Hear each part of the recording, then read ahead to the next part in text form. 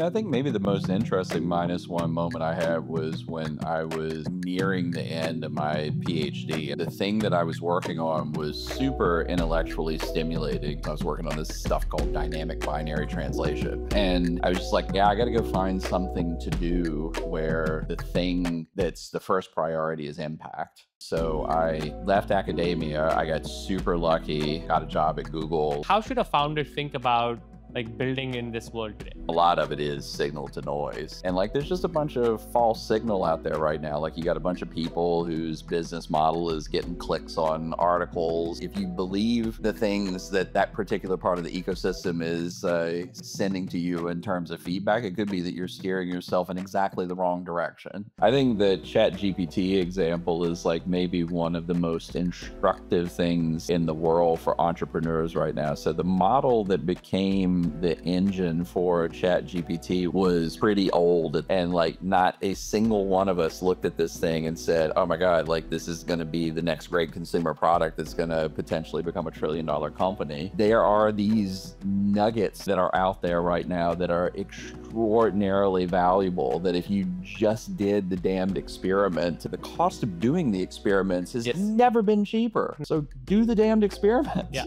Try things